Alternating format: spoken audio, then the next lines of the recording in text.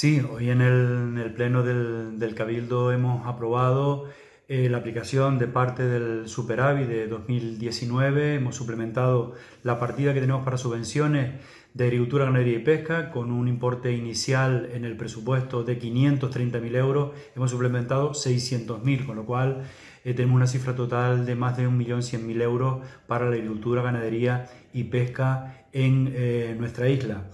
De ahí va a salir eh, para el mantenimiento de la cabaña ganadera las ayudas que ya hemos comentado y que hemos llevado a, a, comisión de consejos de gobierno del caprino y el ovino, como digo, de unas 210.000 euros.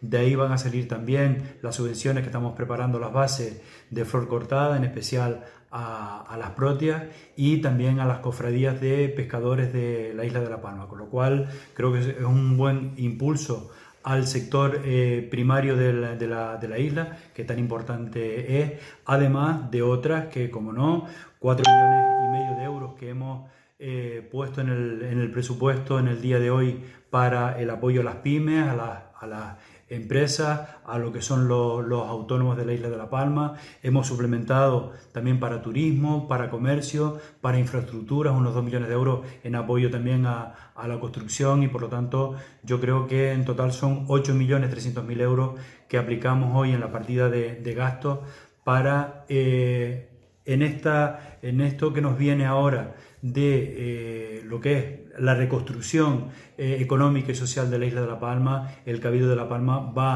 a arrimar el hombro, por supuesto no puede ser de otra manera para que no se nos quede nadie atrás. La central hortofrutícola está funcionando a pleno rendimiento, se está prestando servicio a los cosecheros de la isla de La Palma.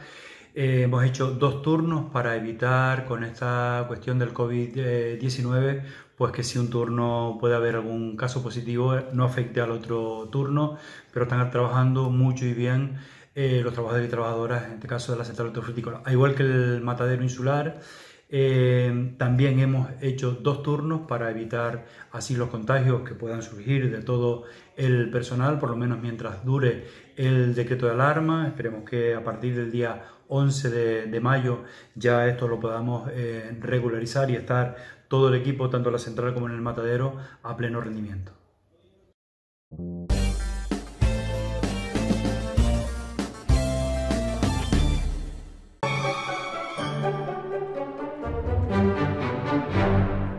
Siempre es buen momento para dar las gracias.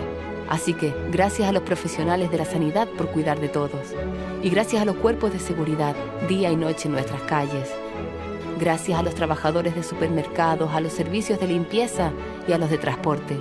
Y como no, a nuestros agricultores, a nuestros ganaderos, a todo el sector primario que sigue en pie a pesar de todo. Gracias. Nuestro agradecimiento a todos los que están en primera línea y gracias a ti cuando piensas en ellos y te quedas en casa. Gracias La Palma.